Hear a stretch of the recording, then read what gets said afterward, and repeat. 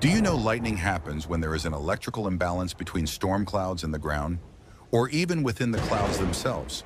Most people think lightning always hits the ground, but actually, most lightning happens inside the clouds. Now here's something you need to understand. Lightning is extremely hot.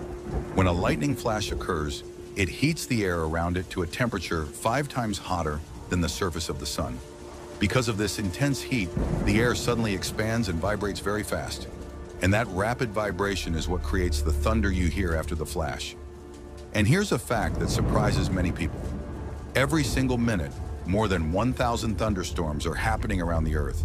And those storms produce over 6,000 lightning flashes every minute. So now you know lightning is not just a flash in the sky.